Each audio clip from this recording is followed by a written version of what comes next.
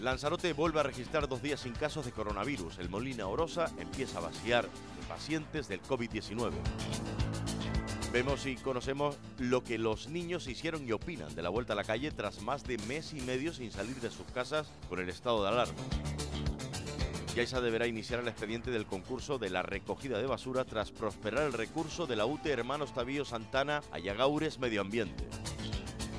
Conocemos la historia del joven lanzaroteño Ricardo Espino, quien ha convertido en todo un fenómeno viral una canción dedicada a Lanzarote.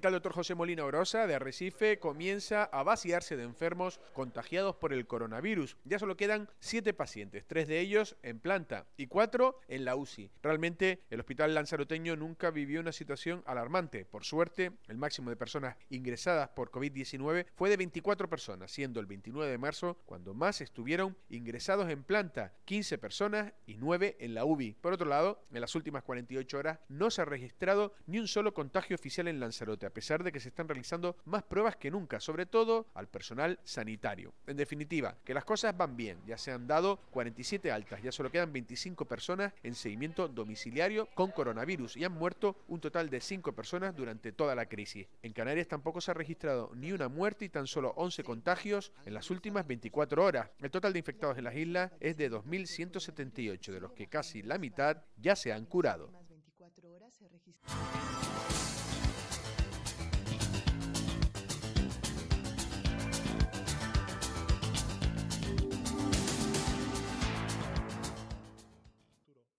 Canarias está a la espera de que el gobierno central no siga dando largas al plan por etapas de desescalada propuesta por el archipiélago y avalada por el Comité Científico de las Islas. Hay malestar entre algunos socios de gobierno del PSOE, como el diputado de Nueva Canarias, Pedro Quevedo, que cree que el presidente socialista, Pedro Sánchez, no ha querido escuchar a Canarias. Por su parte, el presidente del Ejecutivo canario, Ángel Víctor Torres, cree que Madrid todavía no se ha pronunciado y que están a la espera del Consejo de Ministros de mañana martes, día 28. Porque es que no se ha parado ninguna propuesta ninguna. Es más, el presidente del Gobierno ha dicho que ha tomado nota de las propuestas que le han llegado, y la de Canarias, repito, se envió el jueves por la mañana al Ministerio de Sanidad, y no ha habido ninguna parálisis, ni freno, ni un no a ninguna propuesta. Lo que se hace es, eh, en una comisión interterritorial, analizar una serie de parámetros y mañana se analizarán el otro. Son dos documentos de varios, de varios folios que hacen que todas las comunidades que quieran ir a la desescalada eh, cumplan con esos ítems. ¿Cuál es la ventaja de Canarias? Que creemos que los cumplimos mayoritariamente. Para eso mañana habrá debate al respecto, ¿no? Y por tanto, seguimos eh, respetando los criterios científicos. Y yo eh, espero que el martes, en ese Consejo de Ministros, todo lo expuesto esté también contemplado. Torres sigue creyendo que Canarias está preparada para salir antes del confinamiento porque reúne todos los requisitos. Cada domingo, cuando comparezco ante las Canarias y Canarios, la situación es mejor que la semana anterior. Por ejemplo, Canarias ha hecho en la última jornada más de 3.000 test. Hemos pasado de 600, 700, 800 test diarios a más de 3.000 test diarios de PCR y hemos tenido solo 12 positivos.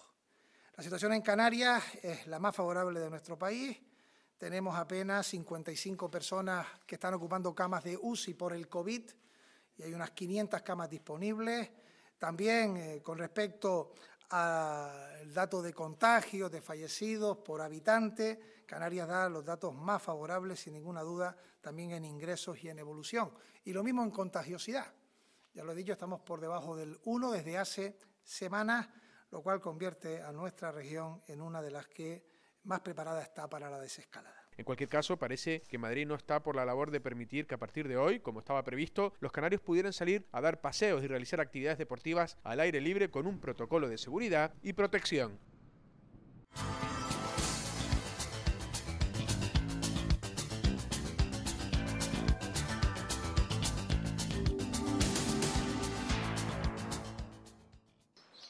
Esta fue la estampa más vista ayer en las avenidas y zonas de esparcimiento de toda la isla. Finalmente llegó el día en que los niños acompañados por sus padres podían salir una hora a la calle. En líneas generales se vio a padres e hijos respetando las normas de seguridad. Muchos optaron por caminar con los pequeños y otros por acompañarlos con sus bicicletas o patinetas. La avenida de Recife y la de Playa Honda fueron las más frecuentadas, al igual que también muchos optaron por caminar sobre la arena, ya fuera en el reducto o en Playa Honda. En definitiva, una medida muy esperada que en Lanzarote, dada su escasa densidad poblacional, no tuvo problemas para respetar todos los parámetros de seguridad.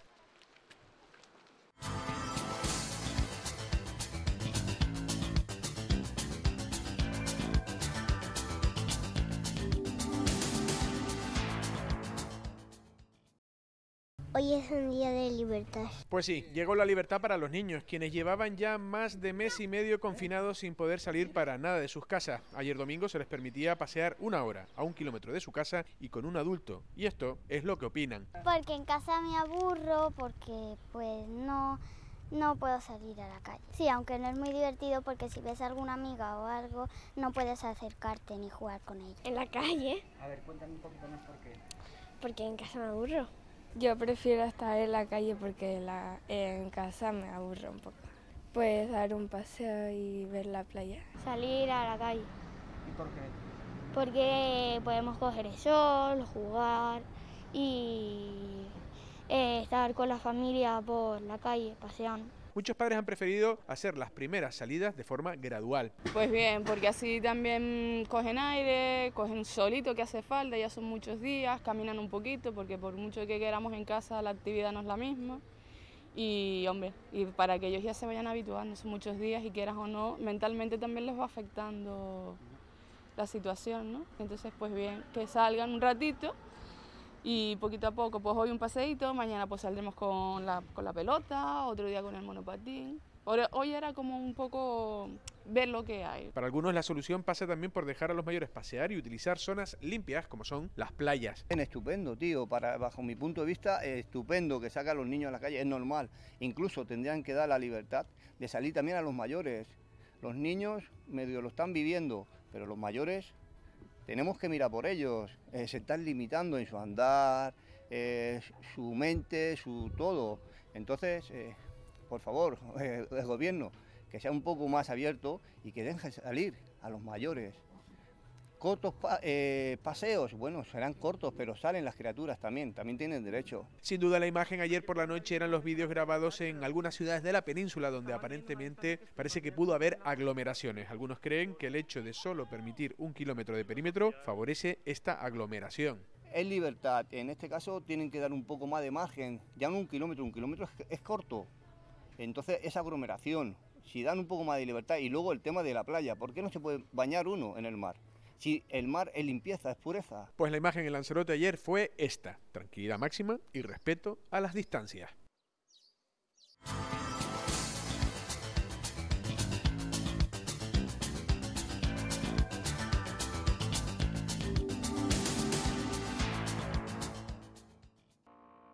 Del total de expedientes de regulación temporales de empleo presentados en Lanzarote, el 38% corresponde a la actividad alojativa y turística de la isla, el 32% al resto de servicios y el 24,2% al comercio. Estos son datos ofrecidos por la presidenta del Cabildo de Lanzarote, Dolores Corujo, quien se reunía la pasada semana con los secretarios de los principales sindicatos en la isla, UGT y comisiones obreras. Precisamente Corujo quiso destacar el pasado viernes su agradecimiento a los establecimientos turísticos que han permitido a sanitarios y miembros de los cuerpos de seguridad instalarse en lugares seguros para no arriesgarse a poder contagiar a su entorno familiar. El alojamiento para el personal sanitario, de emergencia y también de los cuerpos y fuerzas de seguridad.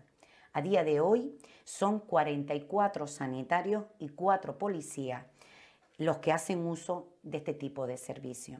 Se trata de profesionales con los que no querían en ningún caso eh, poner en riesgo a sus familiares y ponerlos en definitiva, como decía, en riesgo y a los que había que proporcionar un alojamiento alternativo.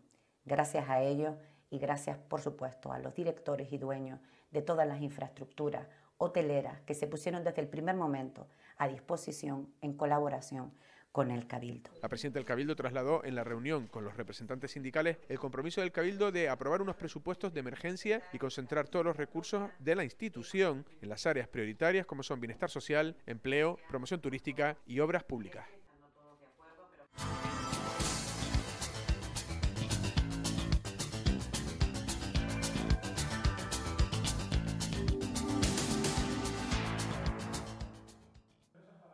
El alcalde de Yaiza, Óscar Noda, reconocía esta mañana el revés que ha significado para el ayuntamiento sureño la anulación del concurso del servicio de recogida de basuras del municipio otorgado de forma provisional a FSC. El Tribunal Administrativo de Contratos Públicos avalaba el recurso de la UT Hermanos Tavío, Ayagaures, Medio Ambiente y Yaiza cree que será más rápido reiniciar el concurso que recurrirlo al Tribunal Superior de Justicia de Canarias. Bueno, pues si recuerdan, se intentó adjudicar, se lleva a pleno la adjudicación provisional y después de eso pues se presentó un recurso especial por la UTE, en este caso pues Hayagaure y Hermanos Javier Santana presentó un recurso especial pues, totalmente en su derecho y lícitos y ya, que se quedaron fuera en el primer corte. Y bueno pues finalmente el Tribunal de, Contratos les da la razón parcialmente y una de las cosas que nos piden es que retrotraigamos el expediente de licitación. Entonces podemos ir a, un contencioso a, recurrir a esta sentencia. Entendemos que los contenciosos a veces se alargan demasiado y tal vez pues se alargue más, sea peor ir al contencioso que eh, realmente iniciar de nuevo el concurso. ¿no? Conocer que vamos a iniciar, efectivamente vamos a retrotraer el expediente y vamos a iniciar el nuevo concurso, para lo cual pues ya se está redactando un plan de viabilidad nuevo y a raíz de ese plan de viabilidad pues se revisará los pliegos eh, técnicos y bueno pues a través de la eh, cuando esté fiscalizado y con los informes técnicos pertinentes, pues se volverá a llevar a pleno para pues iniciar la publicación y, volver a, abrir plazos para presentar ofertas. Noda cree que esta decisión retrasará la puesta en marcha del nuevo concurso hasta el próximo año 2021. Teniendo en cuenta que ahora incluso los plazos están suspendidos por el estado de alarma, pues yo siendo realista, yo este año casi casi que lo daría por perdido entre que se saca, no se saca, se sale el estado de alarma, se publica, se hacen los estudios, se, tendrá que volver a reunir el comité de expertos. Entonces, eh, yo doy por sentado que lo que resta de año se trabajará en, en ese concurso nuevo, se trabajará en que esté lo más refinado posible y con vistas a que el año que viene pues ya pueda empezar el, servicio nuevo y en condiciones eh, óptima. Hasta que no se adjudique definitivamente el nuevo concurso, será Urbaser la empresa que continuará prestando los servicios de forma provisional como lo ha llevado haciendo hasta estos días.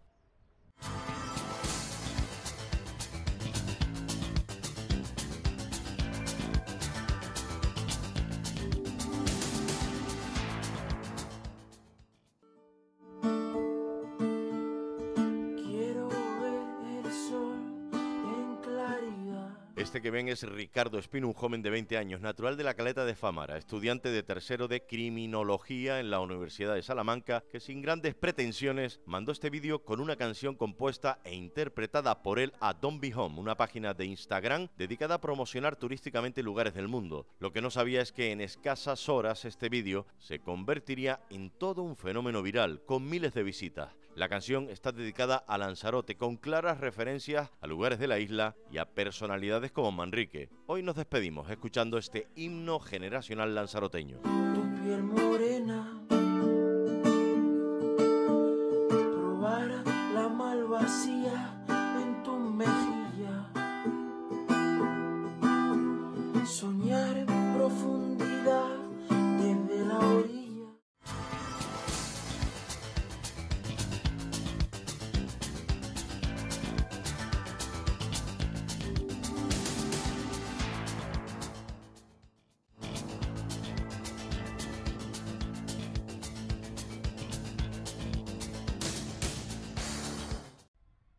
La hamburguesería y pizzería Wambo ha reabierto sus puertas, pero esta vez con servicio a domicilio. Este reconocido establecimiento, ubicado en Playa Honda, abierto desde 1997 y con más de 20 años ofreciendo el mejor servicio y calidad, ofrece ahora su servicio a domicilio a partir de este viernes 1 de mayo. Wambo está abierto de martes a domingo, de 12 del mediodía a 4 de la tarde y de 7 de la tarde a 12 de la noche. Para realizar pedidos, llamar al 928 82 03 21. No cerramos en Informática Lanzarote. De 9 a 15, de lunes a sábado, en la central de Arrecife, Playa Blanca y Corralejo. Continuamos ofreciéndoles papelería, informática y telefonía móvil. También en el teléfono 900 700 800 y online en informáticalanzarote.com.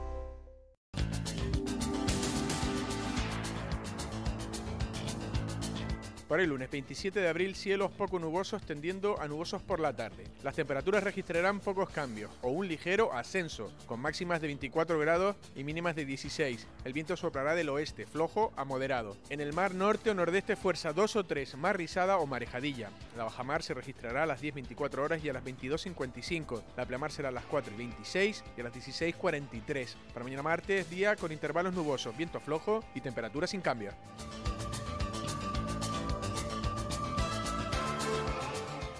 No cerramos en Informática Lanzarote. De 9 a 15, de lunes a sábado, en la central de Arrecife, Playa Blanca y Corralejo. Continuamos ofreciéndoles papelería, informática y telefonía móvil. También en el teléfono 900 700 800 y online en informáticalanzarote.com.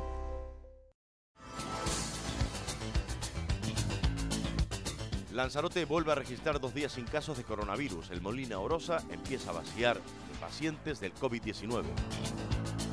Vemos y conocemos lo que los niños hicieron y opinan de la vuelta a la calle tras más de mes y medio sin salir de sus casas con el estado de alarma.